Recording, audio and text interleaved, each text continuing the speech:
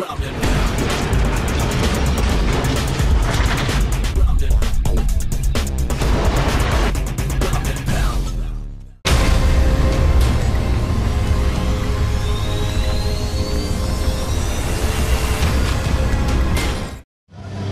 And Pound TV, Marc Bergmann vor den Innsbruck bei Inferno Fighting Championship und bei mir steht nun ein glücklicher Florian Kienberger, der soeben seinen ersten MMA-Profikampf gewinnen konnte, nach einer ja, erfolgreichen Amateurkarriere schon.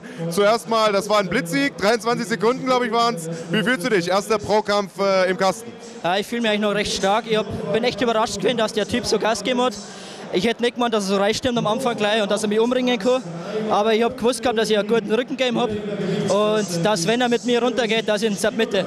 Das ist auch so passiert. Also ähm, er hat ja im Prinzip den Takedown gesucht und äh, du hast das relativ schnell ähm, einen Armbar da rausgeholt. Und ja, nach 23 Sekunden war Schluss. Ist das so ein bisschen deine Spezialtechnik oder hast du es auch darauf abgesehen zu sagen, okay, wenn er mit mir runtergeht, hole ich mir den Arm? Weil dein Gym ist ja eigentlich schon eher so für den Standkampf bekannt. Ja, aber ich kämpfe früher, also ich trainiere in Rosenheim und da haben wir einen Blaugurt als Trainer und der ist super. Und durch den habe ich das Bodengame sehr stark verbessert. Und eigentlich im Gym nennen sie mich alle einen Triangle Flow, weil das eigentlich meine Spezialtechnik ist. Aber da wird es ein schöner Armball geholt und bin zufrieden damit. Das äh, kannst du auch sein, war auf jeden Fall ein beeindruckender Sieg.